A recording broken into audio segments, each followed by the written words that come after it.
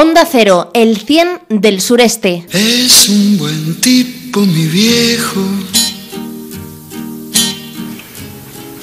Y ahora lo que hacemos es abrir, amigos, nuestro tiempo de radio informativo para los mayores y también nuestro tiempo de radio informativo para los familiares de nuestros mayores. Lo hacemos lunes a lunes con el patrocinio inigualable de Residencia de la Tercera Edad Mirasierra. Y es que no queremos que estén ustedes solos, no queremos que estén ustedes solas, están en lo mejor de la vida. ¿Y sabe usted por qué decimos que están en lo mejor de la vida? Porque esa edad que tiene usted, amiga, o esa edad que tiene usted, amigo, es la mejor edad, está en lo mejor de la vida. Y si encima está en residencia de la tercera edad Mirasierra, pues fantásticamente mejor, claro que sí. Porque no queremos que estén ustedes solos, no queremos que estén solas. Los mayores, bien lo saben, nos lo han dado todo en la vida y ahora, ahora llega el momento de que seamos nosotros los que demos todo a los mayores. Y el todo se llama Residencia de la Tercera Edad Mirasierra en Cercedilla, carretera antigua de los Molinos 11. ¿Qué le parece si nos vamos con todo el equipo en este instante hasta Residencia de la Tercera Edad Mirasierra? Y les presento a su responsable, que es doña Emilia Cortés. Querida amiga Emilia, ¿cómo está usted? Bienvenida. Pues ya ves, con, con nuestro lunes, con nuestro maravilloso lunes, que es como empezar, yo qué sé, otra parte de la vida Está muy bien inventado eso de la semana, los meses, los años, está muy bien. Entonces a disfrutarlo. Y a disfrutarlo y además pasa que mm, nosotras tenemos un programa eh, que va siempre igual, luego van las cosas que hay que hacer aparte, ¿no? Y, y retomamos como si empezáramos la vida. Y a ellos les pasa igual a ellos les pasa igual porque participan con nosotras en todo, en todo. Y si no con nosotras, que somos las que estamos siempre con ellos, pues para eso están las terapeutas, que los tienen, hasta bailan sevillanas, no te digo más que eso, eh, lo que ellas digan porque están, eh, eh, diríamos, hechos grupitos de lo que le gusta una cosa, de lo que le gusta la otra. Hay alguien nada más, no le gusta hacer nada, le gusta hablar, pues hablar y contar su vida y cuando sembraban su huerto y estas cosas. Qué bonito eso es, porque los mayores mm, cada vez están más alejados de, de la vida moderna, porque la vida moderna ha cambiado total, ¿no? Por lo tanto, ellos se agarran mucho al pasado y hay que apoyarlos y que lo tengan vivo, lo bueno. Lo malo hay que quitarlo. Por lo tanto, eso lo tenemos muy, muy, muy clarísimo los lunes. Los demás días es igual, pero que parece que el domingo ha cambiado la cosa. Así que así estamos, te lo cuento. Claro, el domingo, al igual que el sábado, son los días a lo mejor un poquito más importantes para que los familiares de los eh, de los mayores de Minas Sierra vayan a visitar a, pues eh, directamente ayer a no había, estamos de esquina, ¿no? Pues ninguna de las dos calles había sitio para aparcar la cantidad de gente que vino ayer, porque estos días han estado más de mm, nietos, de, de familiares, de amigos, de viajes y cosas de esas y ahora ya están, cada uno ya ha cogido el ritmo de su vida y ayer fue, vamos, ayer es que era, ya te digo, cuando en uno de los momentos salgo yo, digo, y bueno, ¿qué ha pasado aquí? ¿Dónde es la boda? el ambiente que había. Porque, y además nosotros apreciamos muchísimo a los familiares, muchísimo, porque los comprendemos. Eso de que los que no están en contra de las residencias dicen, uy, los llevan a morir en la residencia. No, señor a morir estás desde que naces. Eso es un decir feo, ¿no? Y cuando llegan un momento en que necesitan todas las cosas, la familia no puede, la familia está muy comprometida. Unos porque trabajan, otros porque tienen otro tipo de obligaciones. Entonces es muy difícil poder atender de día y de noche a una persona. ¿Y sabes qué pasa? Que cuando vienen de, la, de su casa nos cuentan cosas que para nosotros es clarísimo que necesitan venir a una residencia. Y claro, lo tenemos tan claro que queremos que, que vivan aquí mejor que en su casa, si no, ¿para qué salen de casa? si van a vivir peor y van a vivir con unas normas estrechas o van a decir que a las 12 se come y se come a las 12, cosas de esas. Ahora que digo lo del comer a las 12, lo del comer sí que es justito.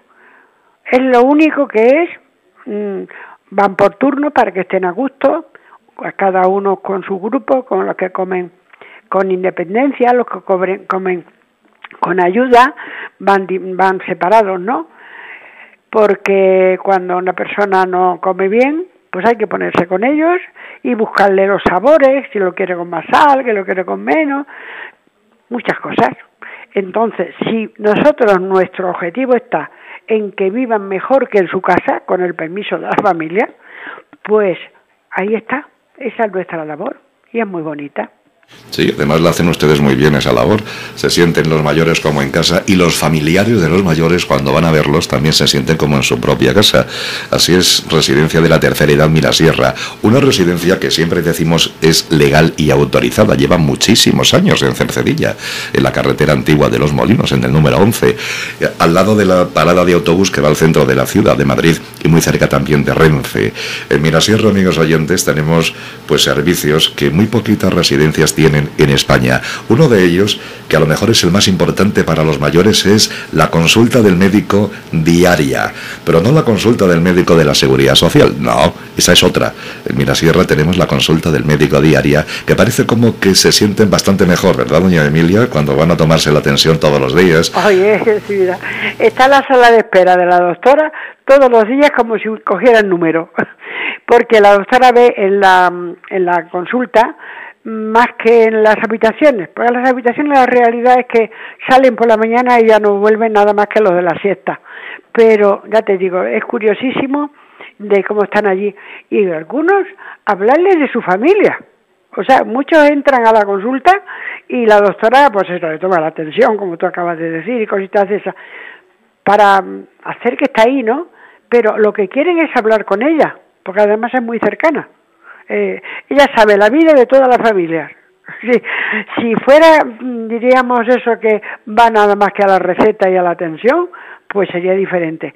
Pero es que es curioso. Yo algunas veces coincido que entro a la consulta cuando está con alguien y lo menos que están hablando es de las enfermedades. Están hablando de que si su nieto se examina mañana, que va a bajar a la capilla a ponerle la vela a San Antonio. Mira, es curiosísimo la consulta de la doctora y, van eso. Luego están los que ella tiene en su programa de verlos que son personas que a lo mejor no van por sí sola a la consulta, ella los llama, la auxiliar se los lleva y divino. Pero estos que te digo le cuentan la vida, salen de allí nuevos.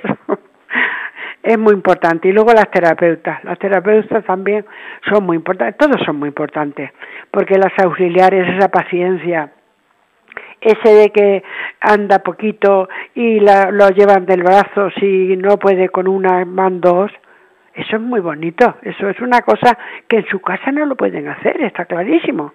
Y muchas veces en su casa no piden cosas por no molestar, eso es lo triste. Aquí le decimos, aquí se pide lo que uno necesita, quiere o desea, o es capricho o es manía, pues ya está, hay que cumplírsela. Es que, hijo mío, si, si los que levantaron España están ahora necesitando el apoyo de los que estamos, pues hay que dárselo todo, hay que dárselo.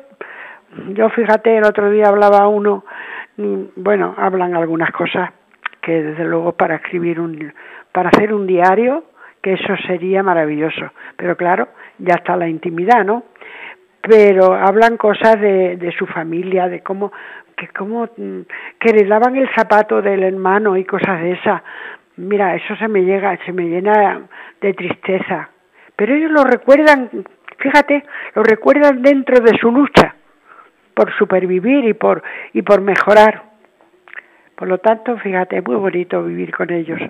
Claro que sí, por eso nosotros queremos que ustedes, amigos oyentes, si tienen algún momento en su vida, pues que visiten las instalaciones de residencia de la tercera edad Mirasierra, que vean cómo son pues eh, las habitaciones, que vean los comedores, la cocina, los servicios comunes, y ustedes ya se irán más convencidos o convencidas del gran trabajo y la gran labor que hace y que tiene y que ofrece diariamente Residencia de la Tercera Edad Mirasierra. 91 852 0314 es el teléfono de información www.residenciamirasierra.com y la dirección es Carretera Antigua de los Molinos 11 en Cercedilla. Bueno, pues querida amiga Emilia, la deseamos una fantástica semana y la emplazamos hasta el próximo día. Vale, y le dedicamos a la familia mm, que, que sepan siempre que estamos pendientes mucho de la familia, de tenerlos informados. Si hay alguna anomalía, la doctora los llama, eh, le mantiene, la doctora mantiene mm, su línea con los médicos especialistas que vienen con tratamientos ya prescritos por ellos. Todo esto es, habrá pocos sitios que se haga. De esto estoy segurísima. Muchísimas gracias a todos. ¿eh? Gracias a usted, doña Emilia. Un abrazo muy grande. Hasta el próximo día. 918 52 0314, 918 52 0314 o www.residenciamirasierra.com porque no queremos que estén ustedes solos. Porque no queremos que estén ustedes solas. Están en lo mejor de la vida y lo mejor de la vida se llama Residencia de la Tercera Edad Mirasierra, en Cercedilla. Ahora ya camina lerdo. El 100 del sureste, Onda Cero.